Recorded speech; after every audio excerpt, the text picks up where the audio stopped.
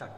My name is Upendra Reddy. I am going to give you a small demo on probability and random variables. First, I will discuss about the probability. Then I will go over the random variables.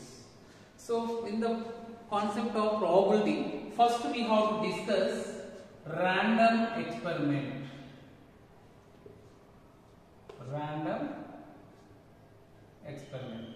If we perform an experiment any number of times, if the result is not unique, result is not certain, any one of the several possible outcomes is called the random experiment.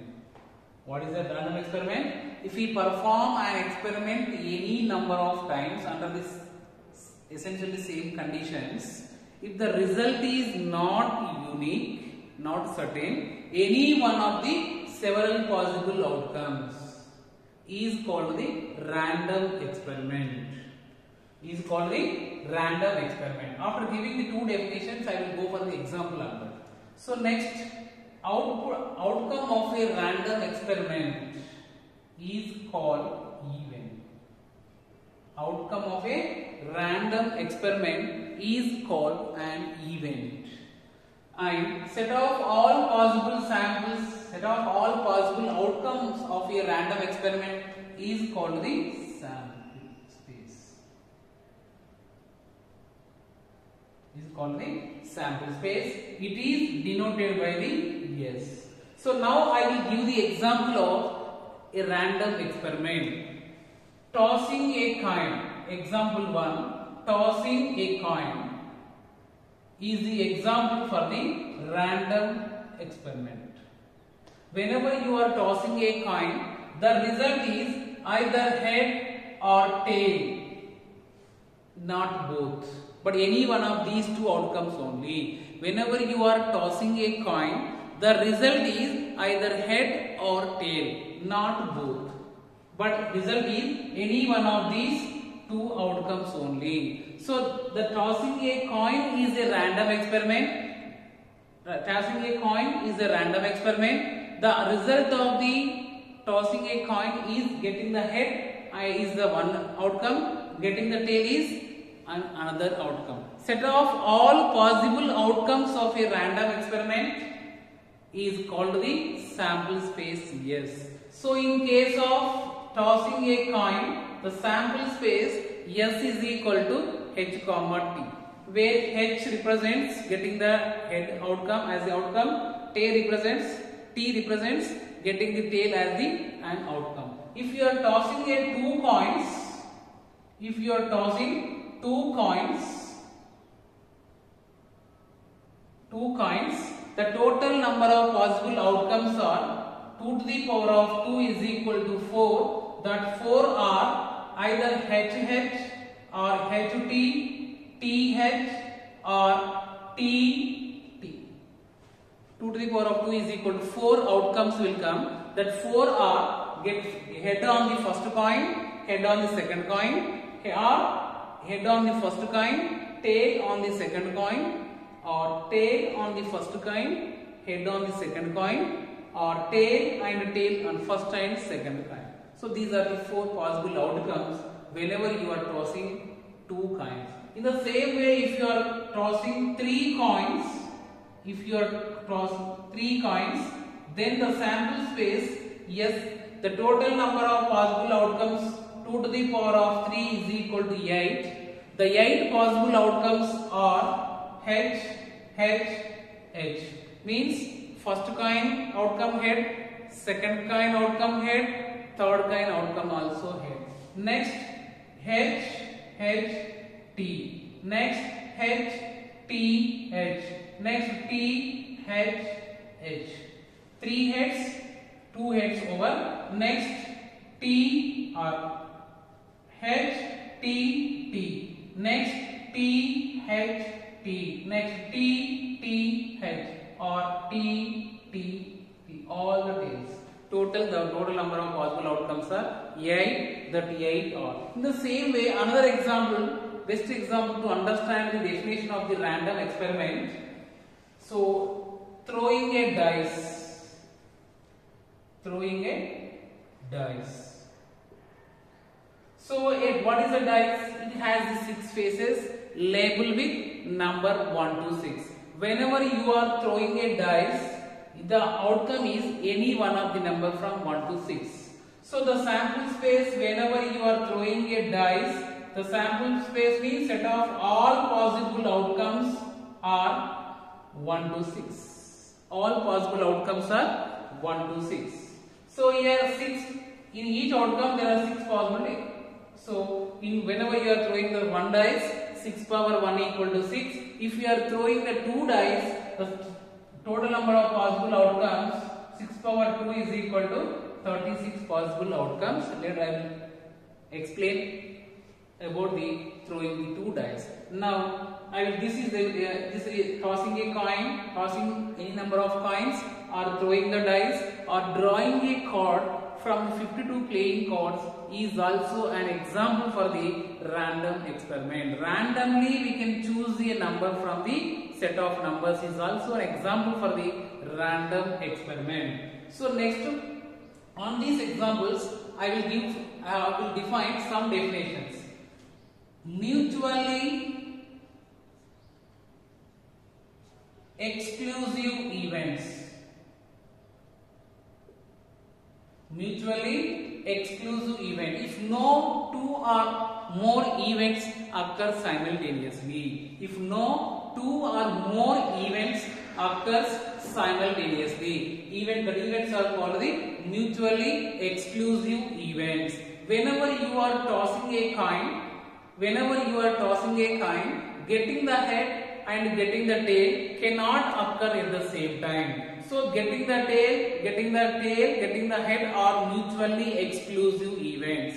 Whenever you are throwing a dice, in each outcome more than one number cannot occur. So that getting the any number as outcome is the throwing the single dice is the mutual uh, events are the mutually exclusive. So no two or more events occur simultaneously. That events are called the mutually exclusive events.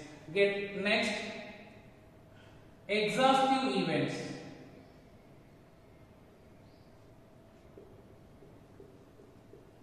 Set of all possible events in a random experiment is called the exhaustive events. Set of all possible events in a random experiment are called the exhaustive events.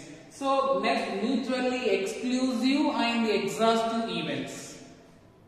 Means in this example whenever you are tossing a single coin the total number of possible outcomes are getting the head and getting the tail. Here getting the head is one event, getting the tail is another event. We cannot get other than these two outcomes. So these two events are called the exhaustive event. These two events only can occur. No other events cannot occur. Can occur that events are called the exhaustive events. So mutually exclusive and exhaustive events means only these two events can occur. These two events also cannot occur same time. So these getting the head and getting the tail are mutually exclusive and exhaustive events. Next definition, certain event. An event is said to be certain which is certain to occur.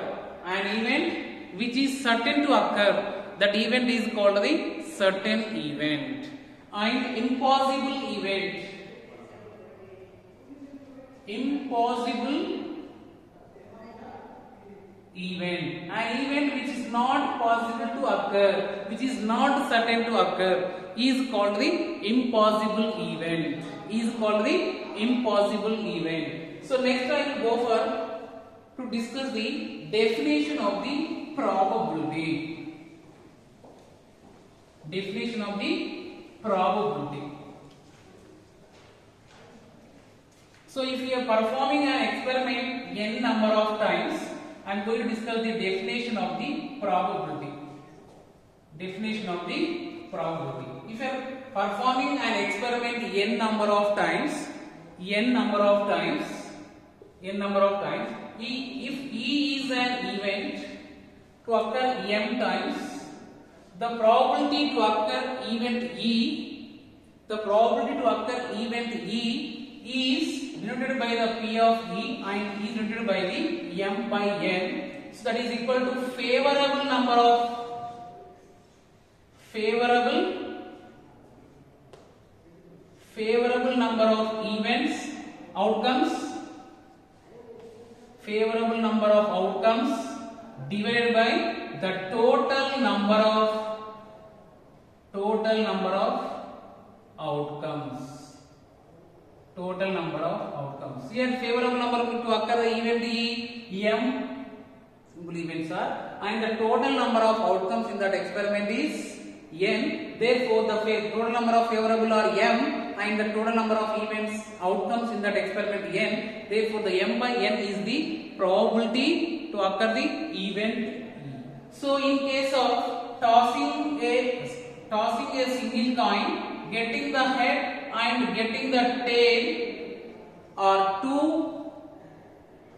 outcomes if i take event e1 is the event to occur the head to occur the head and E2 is the event to occur the outcome as the tail. Then the probability of getting the event E1 means probability to get the head whenever you are tossing a coin is 1 by 2. How you how we are writing the probability to get the head whenever you are tossing a single coin is 1 by 2 is see favorable number of outcomes divided by the total number of outcomes the total number of outcomes see whenever you are tossing a single coin the total number of outcomes are two. One is getting the head another one is getting the tail. And out of these two outcomes out of these two outcomes out of these two outcomes to get the head only one. That one is comes into the favorable outcomes. So to get the head favorable outcomes are one, total number of outcomes the experiment two. Therefore the probability to get the head is one by two. In the same way to get the probability tail that is the event E2 probability of E2 is equal probability of to get the tail is the 1 by 2 probability to get the tail is 1 by 2 the same way whenever you are tossing a two coins head head tail tail head and tail tail two heads one head and zero number of heads see here there are four number of outcomes are there but if we define here if we define event e1 is the event to get the two heads to get the e two heads and if we take e2 is an event to get the one head one head e3 is an event to get the two tails or zero heads zero heads. So now if we want to find out the probability to get the two number of heads that is probability of to get the event occur. That probability of event E1 that E1 is to get the two heads. Here whenever you are tossing the two coins the total number of outcomes are four. To get the two heads only one. That favorable is one and total is four. That probability to get the two heads is 1 by 4 next probability of e2 probability of e2 means probability of to get the one head. One head means one tail also same. The total number of outcomes are 4 out of these 4 in two outcomes we are getting the two out in two outcomes we are getting the head or tail. The favorable number of outcomes are divided 2 so the total number of outcomes are 4 therefore the probability to get the one head or one tail is 2 by 4 then probability of to get the zero heads or two tails. So in this experiment to get the zero number of heads or two tails or one outcome is there. Out of four therefore the probability to get the two heads in tossing two coins probability is 1 by 4 in the same way in the random experiment throwing a dice throwing a dice the set of all possible outcomes are number 1 to 6 so whenever you are throwing a dice you may get any number from 1 to 6 what is the probability to get the any number whenever you are throwing a dice? See the probability to get the number 1 here getting the number 1 is an event or outcome. Out of this total possible number of outcomes are 6 and if we whenever you are throwing a dice if we get the 1 it is favorable the total num if we get the 1 it is comes under the favorable outcome.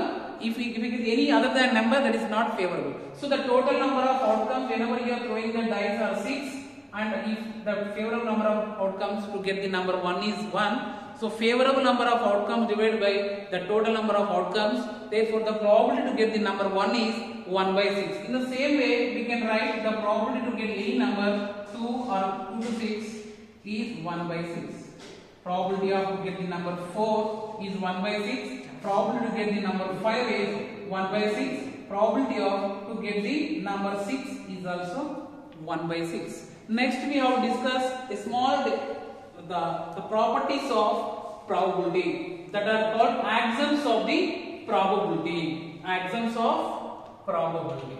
That are called properties of probability there are three axioms. There are three axioms of the probability. Okay thank you very much sir